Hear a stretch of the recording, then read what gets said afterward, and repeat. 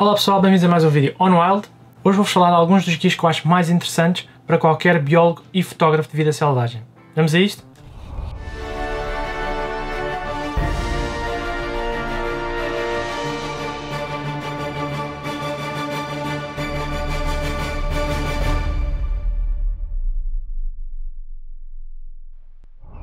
Hoje vou-vos falar de alguns dos guias que eu já comprei. Como vocês viram em alguns dos vídeos, as minhas estantes estão cheias de guias e de livros relacionados com biologia ou com fotografia. Como podem imaginar, eu não consigo ter todos expostos. Alguns não estão naquela prateleira, estão noutras prateleiras ficam precisamente no local onde está a máquina. E hoje vou-vos mostrar alguns dos que eu acho mais interessantes para qualquer biólogo ou para qualquer fotógrafo. Não vou falar muito sobre o guia de fauna da Tapada da Ajuda, já tenho um vídeo em que vou-vos deixar o link, alguns cá em cima, para poderem vê-lo, mas é um dos livros que vocês podem encontrar muita informação sobre várias espécies que ocorrem não só na Tapada como também uh, em Lisboa e no resto do país. Este guia tem não só aves, mas também anfíbios, répteis, mamíferos e ainda peixes. Portanto, é uma das obras que eu recomendo para qualquer biólogo. Não é por ser minha, hum, atenção, só porque acho que é muito interessante termos todos os grupos num único livro.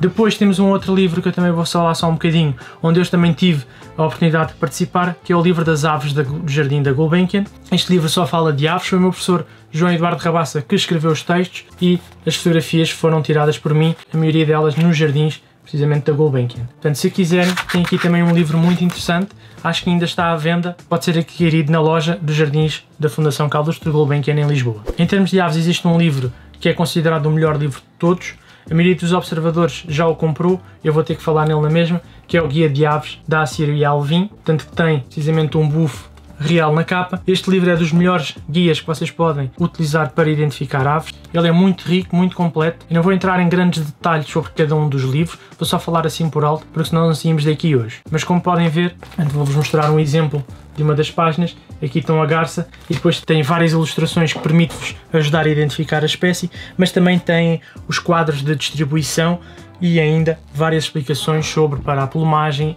e outras características importantes sobre cada uma destas espécies. É o, é o livro que nós mais utilizamos quando estamos no campo para identificar e também para vários tipos de trabalhos uh, de biologia, no caso de monitorizações. Portanto, é um dos livros que eu recomendo vivamente. Bem, depois de falarmos das aves, eu gosto sempre de falar dos mamíferos. É um dos grupos mais interessantes que existe, não só no nosso território, como também a nível global. No entanto, nós não temos nenhum livro em específico. O livro que existe é um livro da FAPAS que já está escutado há mais de 20, 30 anos e, portanto, eu não consegui adquirir nenhum livro desses e o mais parecido que eu consegui até agora encontrar, portanto, foi este livro em inglês, portanto, não existe nenhuma obra em português que fala precisamente dos mamíferos da Europa, do Norte da África e do Médio Oriente. É um livro também muito completo, no entanto é completo demais porque tem mais espécies do que as que ocorrem na Península Ibérica. E um bom exemplo é precisamente o nosso lince. Portanto este é o nosso lince, o lince ibérico.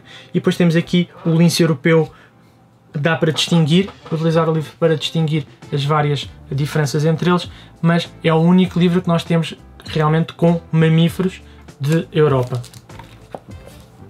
Com os mamíferos vem um outro livro que eu gosto muito, que é este livro, onde tenta identificar as pegadas e alguns outros vestígios da maioria dos mamíferos e também de algumas aves. Este livro é muito interessante, tem muitas informações uh, úteis, como por exemplo estas. Ou seja, a gente consegue utilizar este guia para identificar as pegadas que encontramos no campo e isso permite-nos encontrar e identificar os culpados. Para além das pegadas, podemos ainda identificar os excrementos, estou aqui à procura, e aqui está ela. Temos ainda identificar os excrementos que encontrarmos no campo. Tem aqui uma imagem ilustrativa dos vários tipos de excrementos que podemos encontrar e é um dos guias que nós utilizamos para fazer precisamente essa identificação. Portanto, este livro é muito útil para identificar pegadas, como podem ver aqui as pegadas dos ratinhos, permite-nos não só identificar o tipo e a forma como a pegada fica uh, marcada no chão, mas também as distâncias entre as várias patas quando são marcadas no chão. Isso é muito importante na identificação de todos estes animais que nós gostamos de observar no campo. Já dentro dos anfíbios e répteis, temos este livro da FAPAS, que é os Anfíbios e Répteis de Portugal. Este guia não é tão bom para ajudar na identificação, mas tem muitas informações úteis sobre as espécies que ocorrem em Portugal.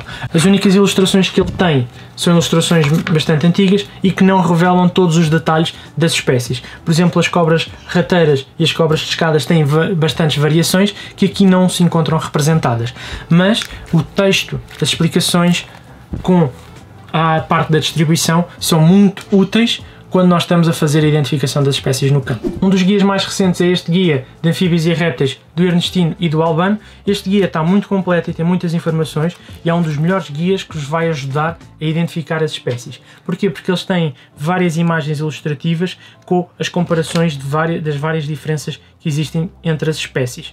Portanto, eles têm várias fotografias a ilustrar as várias espécies, têm também várias informações importantes sobre a distribuição e sobre uh, o comportamento de, destas espécies, e aqui podem ver as diferenças entre um juvenil e depois um adulto mais escuro e um adulto mais claro de uma cobra rateira. Portanto, estas informações são muito importantes e que não estão no outro livro. No entanto, eu recomendo sempre manterem os dois, porque existem informações que estão num e que não estão no outro. Dentro do mundo dos insetos, não temos muitos guias para todos os insetos, temos apenas dois livros que eu gosto de recomendar, tanto as libélulas de Portugal e ainda as borboletas de Portugal.